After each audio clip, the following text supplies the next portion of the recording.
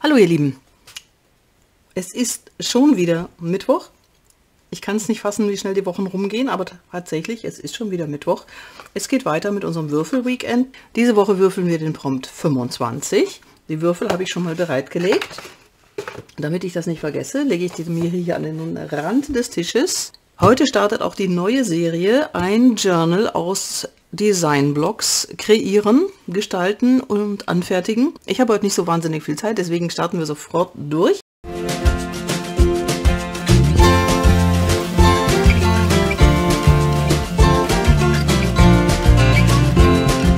Ich habe mir einen ganzen Stapel Sachen bereitgelegt. Also zum einen habe ich natürlich hier die Blocks, die ich euch ja schon beim letzten Mal gezeigt habe. Das sind so verschiedene äh, Designblocks eben. Und diese sind natürlich äh, nicht für Seiten jetzt geeignet. Die sind eher dann für Embellishments und Dekoration. Die lege ich mal auf die Seite, die kommen weg. Diese hier wären durchaus geeignet, um Seiten daraus zu bauen. Und deswegen schaue ich die jetzt noch mal kurz durch und schaue, welche Seiten ich dafür verwenden möchte von diesen Blättern hier. Ich möchte nicht alles verwenden, aber ich möchte einige davon verwenden für Seiten.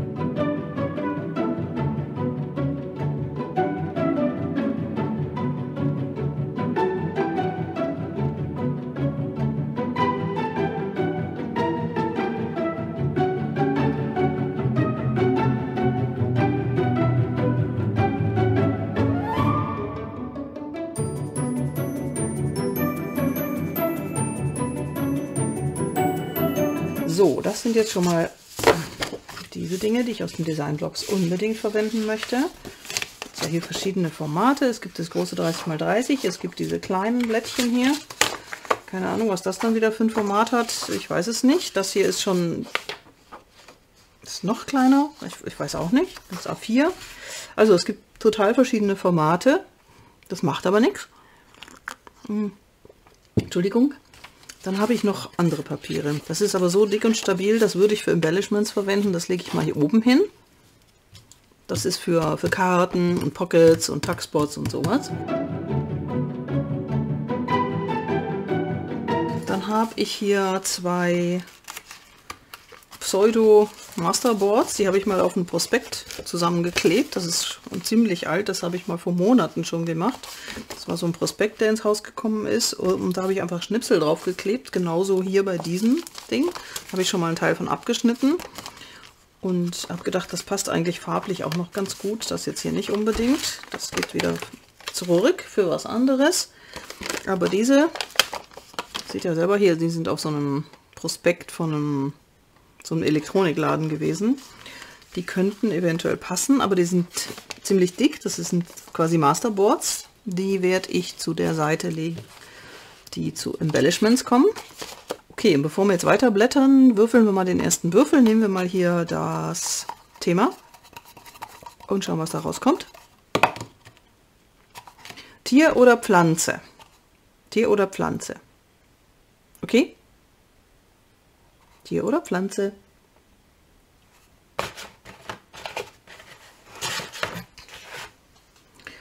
So, jetzt geht es weiter mit den anderen Papieren. Ich habe noch mehr Designpapiere gefunden und beschlossen, dass die auch mit reinkommen. Außerdem habe ich beschlossen, dass dieses Journal nicht nur rosa wird.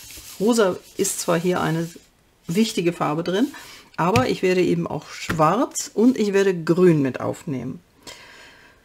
Ja, schwarz einfach, um das rosa ein bisschen runter zu gradieren und runter zu mildern und grün einfach, weil grün ja auch immer in diesen ähm, Pflanzenmotiven auch immer vorkommt. Deswegen schwarz und grün wird auch mit aufgenommen.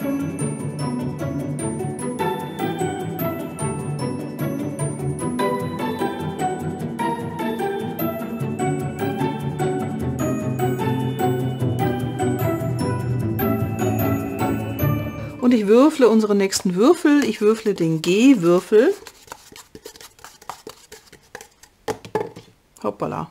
Gefaltet, sagt er. Gefaltet. Okay. Wir haben Tier, Pflanze und gefaltet. So, jetzt machen wir weiter.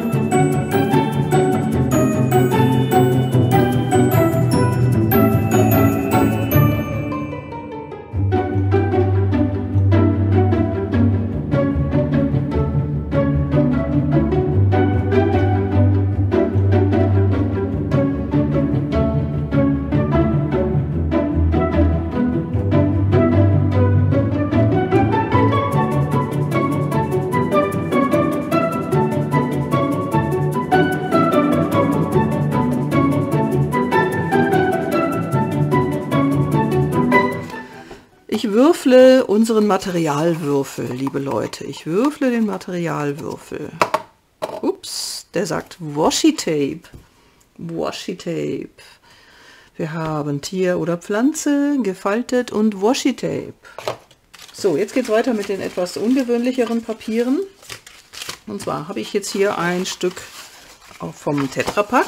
Es fühlt sich ein bisschen an wie Stoff, ist aber Papier. Ist auf jeden Fall als Seite geeignet. Dann habe ich hier etwas aus einem Verpackungsmaterial, aus einer Bestellung. Ähm, das ist einfach so ein braunes Packpapier. Das passt immer und zu allem muss auf jeden Fall was von rein. Dann habe ich hier eine Unterlage, eine Kleckerunterlage. Hm, das habe ich mir unten drunter gelegt, als ich mit Wasserfarben gefärbt habe, damit nicht meine ganze Küche eingesaut wird. Und möglicherweise werde ich davon etwas verwenden, obwohl ziemlich viel Blau drin ist. Ich muss mir das noch überlegen, aber ich habe es mal bereitgelegt. Hier ist noch ein Stück Verpackungspapier in einem anderen äh, Braunton. Passt auch immer dazu. Hier haben wir so ein schönes ähm, Naturpapier mit Löchern drin, wo man durchschauen kann. Ist auch sehr schön, aber das wird auch eher etwas für Embellishment sein. Das kommt auf diese Seite. Ein Papier mit einer äh, Karte von einer Stadt. Ich glaube von, Stockholm oder so ist das, glaube ich. Das ist eine Karte von Stockholm, ja. Mhm, genau, passt vielleicht auch ganz gut dazu. So, dann habe ich zwei wunderschöne Drucke von der lieben Stefanie Dreger wunderschön und ich denke, das ist wirklich ideal für ein Naturjournal. Die Rückseite vielleicht jetzt nicht unbedingt, aber diese Seite hier, die finde ich wunderbar. Die kommt auf jeden Fall mit rein und die auch. Ich weiß noch nicht, wie ich, wie ich sie einbringe, also ob ich die mit einbinde oder... Also das wird wahrscheinlich mit eingebunden und das werde ich vermutlich eher irgendwo aufkleben. Aber ich weiß noch nicht wo. Daher kommt es auf den Stapel Embellishment. Dieses quietschige Pink, das geht mir jetzt schon auf die Nerven hier oben. das ist jetzt schon schrecklich. So, dann habe ich mir noch bereitgelegt ein paar Umschläge, die ich mit einbinden könnte. Hier ein, ein Werbeumschlag von der Fattoria Laviala. Da ist noch ein Umschlag drin, interessanterweise. Okay. Ja, der passt für mich sehr gut von der Optik her. Dann habe ich einen kleinen naturfarbenen Umschlag, einen hellgrünen Umschlag, einen gebrauchten Umschlag mit Blumen drauf und Geburtstagswünschen, könnte passen, einen roten, einen dunkelroten und einen ganz grünen Umschlag von der Energie Steiermark, was mein Stromlieferant ist. Und vielleicht nehmen wir den grauen dann auch noch dazu, der lag ja schließlich auch darum. Dann habe ich hier noch gefunden so eine grüne Verpackungsschachtel, das ist so eine, so eine Kissenschachtel, kennt ihr bestimmt, die man so, faltet man dann so so und so. Und dann ist das Ding verpackt und zu. Kann man dann was reintun. So, wenn man so macht, das natürlich wenig Sinn in einem Journal. Das ist klar, das geht nicht. Das funktioniert so nicht. Das ist viel zu dick. Aber wenn man jetzt folgendes macht, dieses, also da kann man was draus machen. Ich bin mir sicher. Und be happy, my dear friend, das kann auch dann dranbleiben. Das ist auch schon ein kleines Embellishment. So, ihr Lieben, jetzt haben wir alles zusammen. Und Jetzt muss ich mir überlegen, welche Seiten ich wirklich da rein tue. Jetzt werde ich mir erstmal überlegen, welche Größe soll das Journal denn haben? Wie dick ist mein Stapel denn inzwischen? Ich muss ja auch bedenken, dass das hier, diese Stärke, die ich jetzt hier habe, das sind so 3 cm, das wird ja nochmal gefaltet in der Mitte. Das bleibt ja nicht so, das wird gefaltet. Das heißt, das wird doppelt so dick, das wären schon 6 cm. Und das sind nur die Seiten ohne Verzierung ist natürlich viel zu dick, denn wenn ich das Journal dann binde und dann auch noch Embellishments und Verzierungen reinmache, dann ist das ganze Ding ja nachher 15 cm breit. Also dann wird das ja so. Und das, das möchte ich eigentlich nicht, dass es so fett wird. Und deswegen, ja, müssen wir uns überlegen, wie wir das ein bisschen kleiner kriegen. Ne? Ich werde jetzt einfach mal anfangen und diese Dinge hier, die ich hier habe, auf zwei Stapel verteilen. Ich möchte in das Journal zwei bzw. maximal drei Signaturen reinmachen. Dicker soll es nicht werden. Und jede Signatur soll ungefähr zehn Seiten drin haben. Wir machen drei Signaturen und dafür lege ich mich jetzt erstmal Stapel zurecht und verteile diese ganzen Blätter, die ich hier habe, auf diese drei Stapel.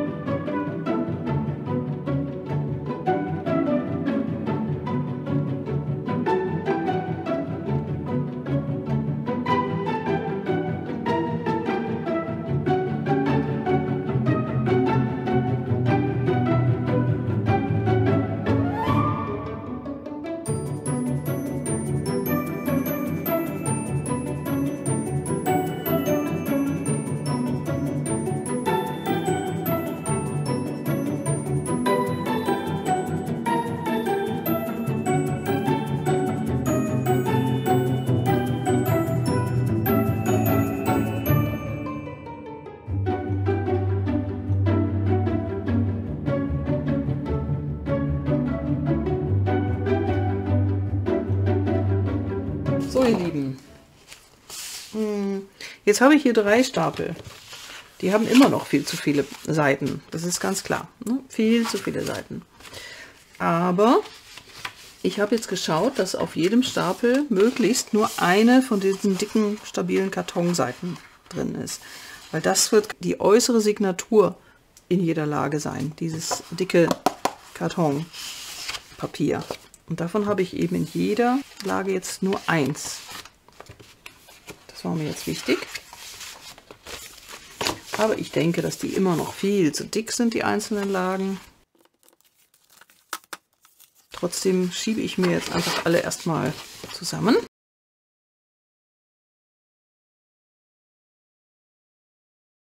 Ja, das ist jetzt schon ein großes Projekt, was hier auf dem Tisch liegt.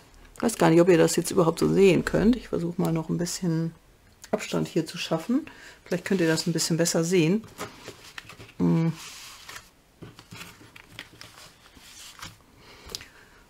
Eine Signatur, zweite Signatur, dritte Signatur. Ja, soweit die Theorie. Mhm.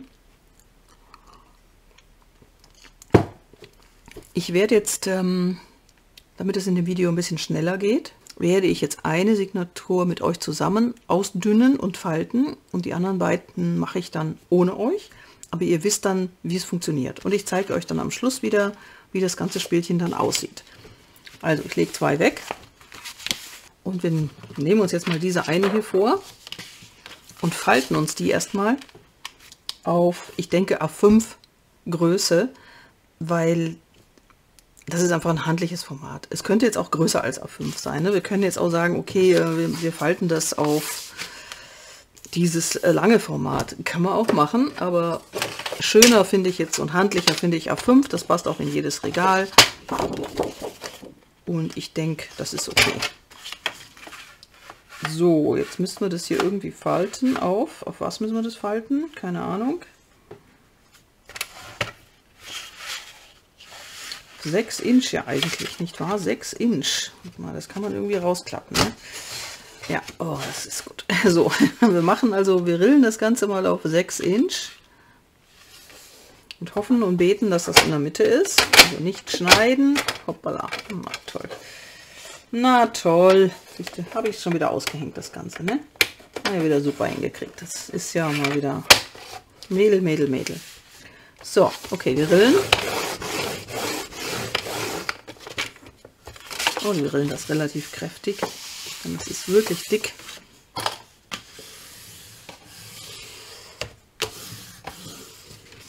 So, das ist jetzt ein recht seltsames Format eigentlich. So lang, so hoch und lang. Natürlich könnte man das Format jetzt beibehalten, aber wenn ich jetzt eine A4-Seite nehme, dann ist die ja zu hoch. Also nicht nur, dass sie zu schmal ist, um sie komplett einmal zu falten, man, kann man problemlos machen. Man kann ja auch Seiten verlängern und zusammenkleben. Man kann die sogenannten Franken-Pages machen. Also da muss definitiv was runter. Es muss auch nicht unbedingt A5 sein. Aber wenn wir das runterschneiden auf 21 cm, wir schneiden das auf 25 runter. Oder wie viel ist dann weg? Ich schneide es jetzt erstmal auf 25 cm runter. Ich hoffe, dass das schneidet, weil irgendwie habe ich das Ding ausgehängt. Ah. Das ist jetzt ziemlich dick gewesen zum Schneiden, aber gut, das ist wieder ein Stück, das kann man wieder für Embellishments verwenden hier. So, wie sieht es jetzt aus? Jetzt habe ich es auf 25 cm geschnitten. Hm, ist eigentlich immer noch, ist immer noch ein bisschen hoch, oder? Was sagt ihr? Was findet, wie findet ihr das jetzt, Format? Also wenn man da jetzt auf 4 quer reinmacht, ich lege da mal was rein, dann ist das kleiner, ne? Klar. Also wenn ich das jetzt falte, A5 ist ja nur 21 cm. Ich glaube, ich mache es auf 22 cm. Ich möchte, dass diese äußeren hier ein bisschen höher sind als die Seiten, die innen reinkommen. Also das, den Gedanken habe ich mir jetzt schon irgendwie so, das habe ich mir schon so vorgenommen. Mhm. Ich schneide es jetzt so. Auf 22 schneide ich jetzt. Ja. 22. Ich glaube, das ist jetzt ein gutes Format, oder? Was meint ihr? Also das gefällt mir jetzt. Und wenn ich jetzt die Seiten nehme, die sind ein bisschen kleiner, halber Zentimeter oben, halber Zentimeter unten, perfekt. Also das ist jetzt gut für mich. So darf das für mich jetzt bleiben. Genau. Und ich werde jetzt alle Seiten falten, so, dass ich die da reinpacken kann. So, jetzt haben wir das Problem mit diesen Seiten hier. Ne? Die sind ja hochkant. Und dann muss man sich natürlich überlegen, welchen Teil von dem Papier möchte man, möchte man jetzt haben. Ne?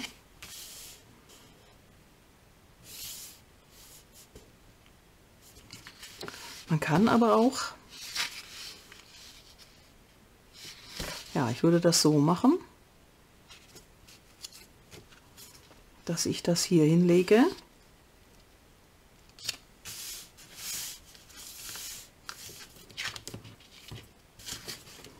Ich falte, so wird es gebunden. Ich falte es jetzt erstmal so. Da wird es eingebunden an der Kante. Ja, so wird es ins Journal gebunden.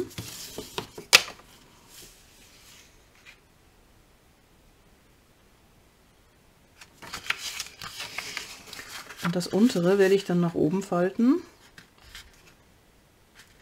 sodass hier quasi eine Tasche entsteht.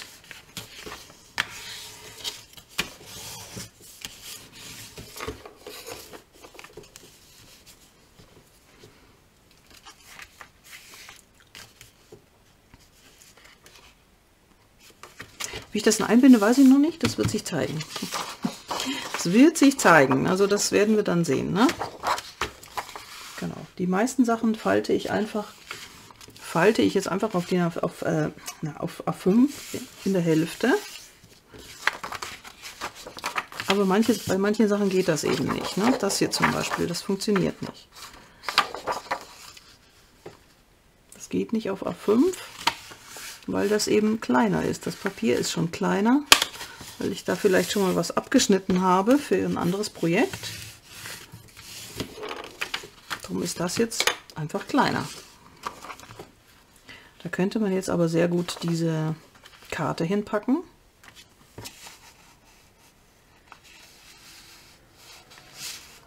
Wenn man die da annäht zum Beispiel und hier unten eine Tasche hinmacht. Die würde ich hier annähen oder ankleben. Also solche Seiten sind sowieso klar, die bleiben so wie sie sind.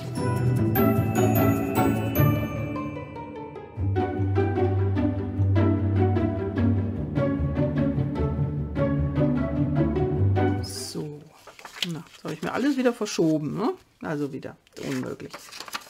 So. Das wird jetzt so eingebunden. Also zum Beispiel oder so, wie, wie auch immer man will. Das kann man jetzt hier durchaus eigentlich auf die Hälfte falten, aber das will ich jetzt gar nicht. Das darf jetzt auch ein bisschen...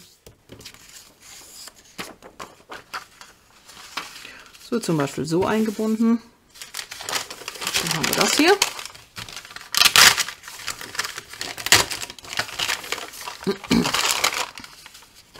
Das können wir jetzt so reinmachen. Das mal rechts und links.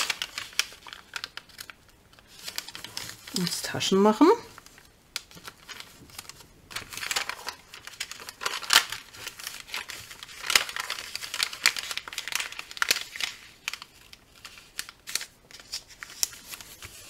Zum Beispiel so.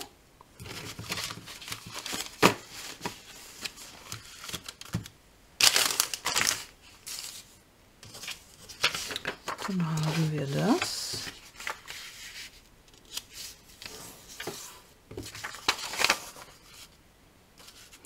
Die Reihenfolge der Seiten steht jetzt noch nicht damit fest, dass es jetzt so, ähm, so gemacht ist. Ne? Das ist noch völlig offen, wie die, wie die Reihenfolge wird.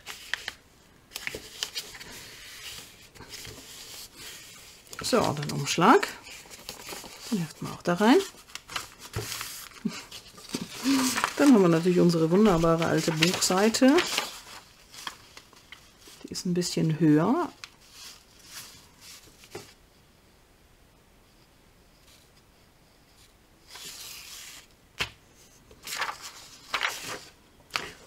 jetzt ein bisschen schade, aber ich knicke das einfach um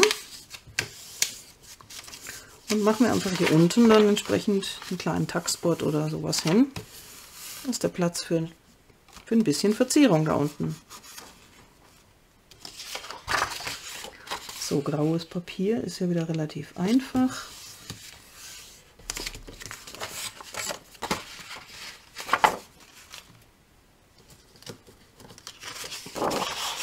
Ziemlich dick. Ich glaube, das nehme ich auch wieder für Embellishments. Und dann haben wir noch dieses Papier hier. Da muss ich dann erstmal diese, diese Infoleiste unten wegmachen, weil das stört mich jetzt doch ein bisschen, dieser Barcode. Den finde ich jetzt nicht wirklich schön. Das Papier heißt Lily of the Valley. Vintage Pattern Paper von Déjà Vu. Ist schon ziemlich alt, das gibt es wahrscheinlich nicht mehr. Also falls das jemand von euch sucht, das, ich glaube, das gibt es nicht mehr. Das können wir jetzt mehrmals in verschiedene Richtungen eigentlich falten. Also einmal brauchen wir so eine Seite ein Stück weg. Ein Stück weg von dem, damit es so reinpasst. Und dann müssen wir es ja auch noch hochfalten, damit wir hier wieder auf diese 21 cm kommen.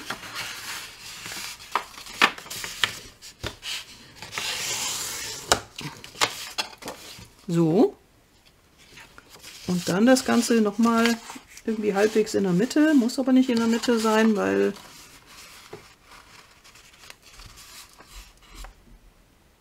ich denke, es muss nicht in der Mitte sein. Ich bin mir jetzt nicht sicher, aber ich glaube, das ist okay, wenn wir das so machen.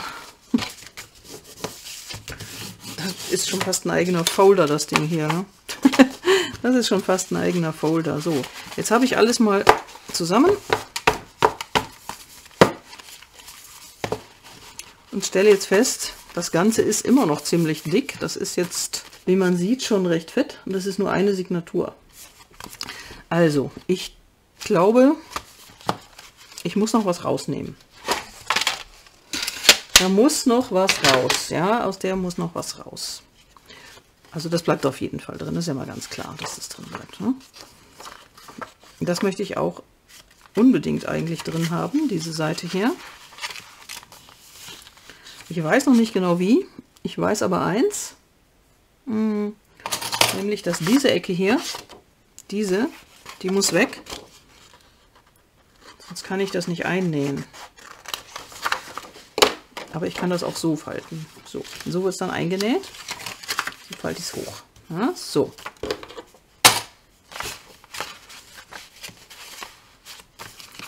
So, das kann man runterfalten und dann hat man das. Hm? Gut, das hätte, möchte ich auf jeden Fall haben. Das hier ist auch sehr schön. Das hier ist jetzt nicht unbedingt notwendig. Also das muss nicht unbedingt sein. Kann ich auch darauf verzichten. So, dann habe ich, dann habe ich, was habe ich denn noch hier? Dieses Buch. Das muss auch nicht unbedingt sein. Das finde ich eigentlich recht schön, das Papier. Das schwarze finde ich ganz gut. Das soll drin bleiben. Das muss auch nicht unbedingt sein. Den Umschlag hätte ich gerne. Die alte Seite hätte ich gerne. Schwarz und Grün sind okay. Wie gesagt, die Reihenfolge der Seiten ist jetzt immer noch nicht fix so. Das würde ich hier anbringen. Wir schauen mal. Viel rausgekommen ist ja jetzt immer noch nicht. Ne? Nur zwei, drei Sachen sind nur raus. Das ist immer noch zu dick. Ich glaube, dass es jetzt immer noch zu dick ist.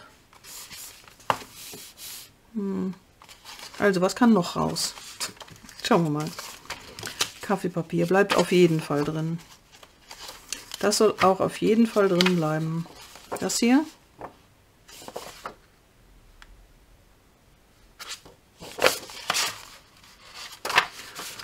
Ah, bin mir nicht sicher.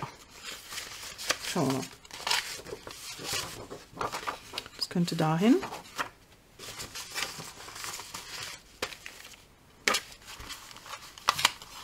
Dann haben wir das mit der Seite.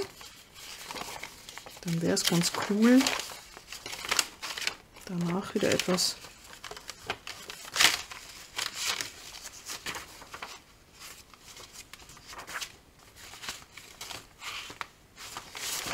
das dahin machen, den Umschlag und diese schwarze Seite,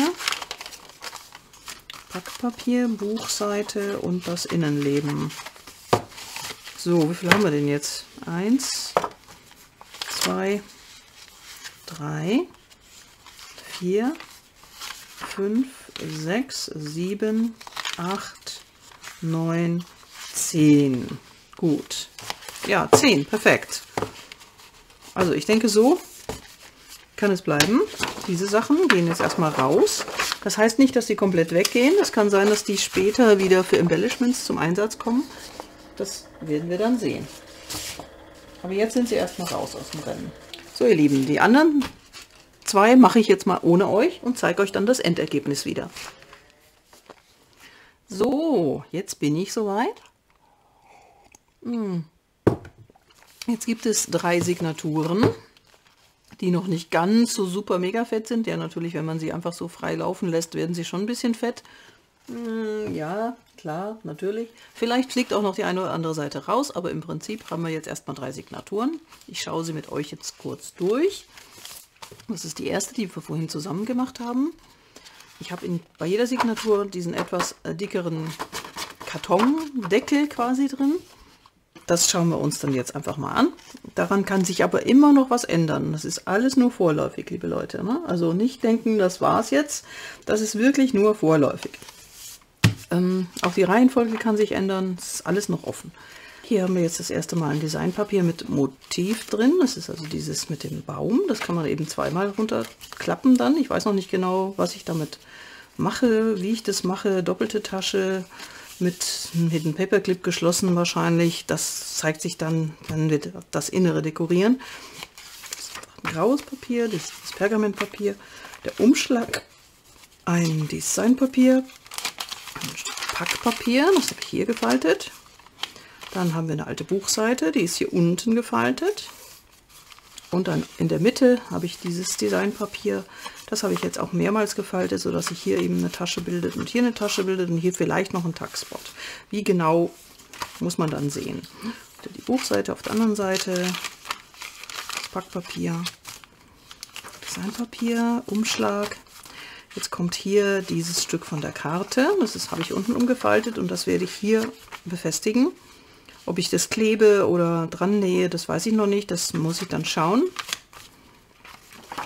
Graue Papier, der Rest von unserem Designpapier, den Baum, Kaffeepapier und wieder dieser kleine Umschlag. So, das ist die erste Signatur, die haben wir ja vorhin noch zusammen gemacht. Und die beiden anderen sehen so aus. Hier habe ich einfach dieses grüne Papier genommen. Das ist also auch dieses dickere. Das hier ist jetzt ein etwas dünneres. Da habe ich das Papier aufgespleist in zwei Hälften. Dadurch ist das dicke Pappkartonpapier äh, dünn geworden. Innen ist es so hm, ein bisschen rau. Und so, jetzt kommt hier kaffeegefärbtes äh, Karopapier, ein Stück Designpapier, Buchseite, ein rosa Löschblattpapier, die Karte von Stockholm umgefaltet.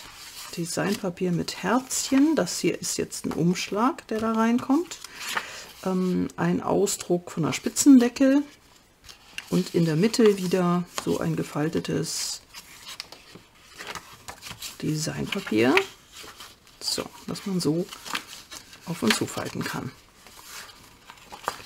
zurück, wieder die Spitzendecke, die Klappe vom Umschlag. Das weiß ich noch nicht, was ich damit jetzt mache, ob ich das hier einfach anklebe oder ob da dann auch noch irgendwas drauf kommt, zeigt sich dann im Designprozess.